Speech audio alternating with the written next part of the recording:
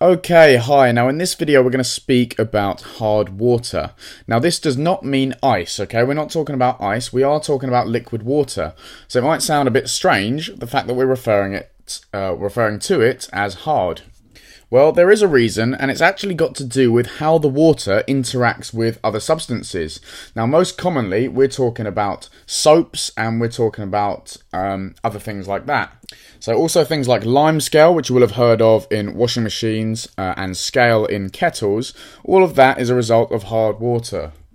Most of the time, and depending on where you are based in the UK, you have soft water. Now, soft water will form a lather very easily with soap, um, and it won't lead to limescale anywhere near as quickly as hard water will. So, first of all, I'm just going to say that hard water, okay, hard water makes it difficult to form a lather. So, to form lather and that's where it goes all bubbly when you uh, when you're using your soaps or your shower gels, etc. Difficult to form that lather with soap. Okay, now I'm sorry for this awful handwriting. There we go, lather. You can see that a bit better now. Now the reason this happens is that hard water, okay, hard water actually contains ions. Okay, so ions normally of metals, and those metal ions obviously aren't meant to be there, and when they are there, they interfere with what the water is interacting with. So the hard water contains ions, contains ions. Now I'm going to give you an example. An example of an ion it could contain would be calcium ions. Okay, so e.g. calcium. Okay, now, they're not always ions, though. They could be compounds. So, ions or compounds. But those compounds are normally ionic, which means you are actually containing ions once they're dissolved. Okay. So, all compounds dissolved. And those compounds react with the soap. So, which react with soap to there we go. With soap to form scum. Okay, so it's scum.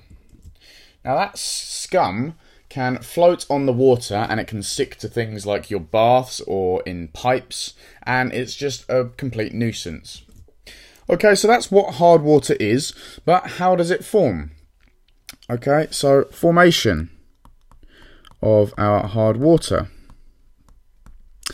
Now, basically, most hard water contains either calcium ions or magnesium ions.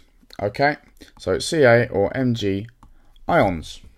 Now, they dissolve into the water when things like streams and rivers pass over rocks, because rocks can contain uh, metal ions such as calcium and magnesium. So, when rivers or streams, rivers or streams, Okay, I've just written it all out. They pass over the rocks and they dissolve the ions or the compounds which are contained within the rocks. For example, so e.g. gypsum, okay, that's G Y P S U M, that contains calcium sulfate, okay, which is CaSO4. We already know, well, we should know already, that limestone contains calcium carbonate, okay, which is CaCO3. Now, calcium sulfate is soluble and this will dissolve directly into water. So this will dissolve directly into water. Into water. However, calcium carbonate is pretty much insoluble. Okay, it's insoluble. However, it still does dissolve. And how this happens is actually quite clever. Well, when rain falls and it fills up the rivers or the streams, okay, or even water which is just exposed to air, well, the air contains carbon dioxide, okay, and the carbon dioxide can dissolve into water, and this forms hydrogen carbonate, okay, which is actually slightly acidic, okay. So I'll just give you that equation, which actually isn't in your book. So H2O plus CO2 gives you this is known as carbonic acid, which contains hydrogen plus, which is your acid ion, plus hydrogen carbonate, which is your other ion. Okay, so it's not really the hydrogen carbonate that's acidic, sorry, it's carbonic acid that's acidic, but that's what it formed. The fact that you have this guy here, well, this tells you that it's an acid. It's very weak acid, but it is acidic. Now, you're not given this equation in your book, and you don't need to know it, but I think it's actually helpful to know why that water plus CO2 is acidic. And so, on that note, the equation you are given is that your calcium carbonate, okay, plus water plus your CO2, which is dissolved in water. And now you can see up here why it's acidic. Okay, gives you a calcium 2 plus, okay, plus 2 HCO3 minus ions. Okay, they're your hydrogen carbonate ions. So now you can see why I showed you um, this equation above. Now this here is the one that we're interested in, the calcium ions, because this causes hardness. Okay, it causes the water to be hard. So because we've produced this Ca2 plus in the water, that creates hard water. This can then react uh, in the water to form scum when it reacts with soap and so on and so on, and this is not very helpful. We now know that hard water interacts badly with soap, but let's see how that actually happens. What is going on is that the ions, be they the calcium ions or the magnesium ions, which have formed the hard water, are actually um, reacting with the soap to form an insoluble salt. Okay, and this insoluble salt is scum, and that is what is um, forming on the top of the water. It's only after this has been formed that the soap can do what we want it to do and form a lather, and then we can wash with it. Okay, so what we have is our ions. Let's just use calcium as an example. So calcium ions, okay, 2 plus, plus um, our soap, which is actually sodium. You don't need to know the formula, you just need to know the name. Sodium stearate, that's S-T-A-R-A-T-E. Okay, this is the active ingredient in soap. Okay, so I'm going to put soap underneath. Now, they react together and they form, I'm going to do it down here so you can see all of it, calcium stearate, Okay, basically the calcium swaps places with the sodium. Calcium stearate. Okay, and that is a precipitate, which means it is a solid because it is the scum. Okay, that's what forms. And plus sodium ions. So the ions have basically switched place. It's almost like a displacement reaction that you've seen before, okay, but it doesn't really matter that sodium is more reactive, okay, this still occurs. So only once all of this has happened, okay, which is going to waste our soap, we need to use more soap so that we can uh, cause this reaction to occur, and then afterwards the soap can do what we want it to do and form a lather in the water, okay? Because once the calcium ions have reacted, there's no more calcium ions in the water, and it's now uh, soft water, as it were.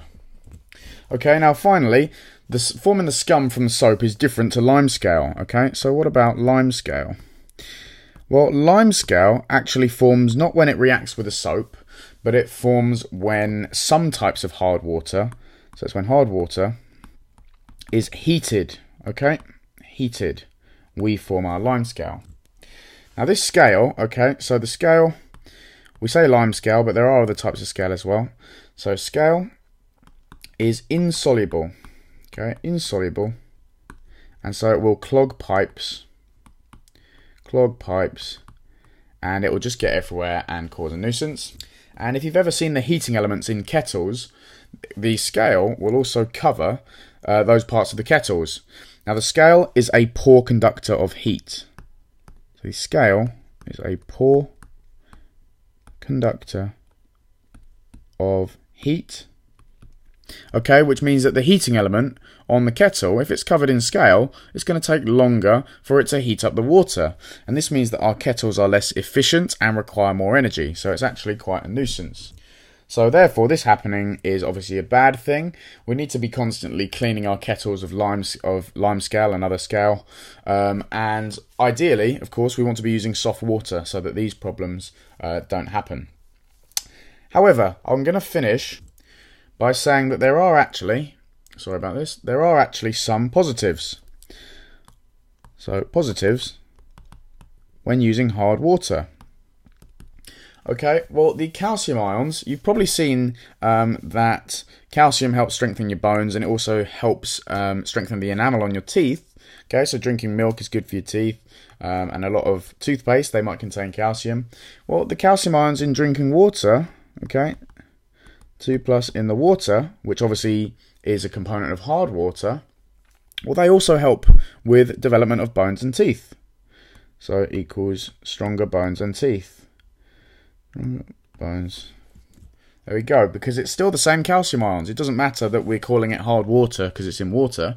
It's still calcium ions and you're still drinking them if you're going to be drinking hard water. Now, there is also some evidence, okay, you take this with a pinch of salt, but there's some evidence to say that hard water uh, actually uh, helps prevent or reduce heart disease. Okay, so there's some evidence to suggest hard water can reduce heart disease. Okay, so I hope that's helped. That's basically everything you need to know on hard water for now. Um, we are going to have a look in the next video at how we counteract this, but at the moment, uh, this is just giving you an overview of what hard water is and why it's a problem. If you do have any questions on that, please do feel free to leave a comment in the box below or send me a direct email using the link. Please don't forget to subscribe and like the video if you have enjoyed it. Um, but I look forward to seeing you in the next one.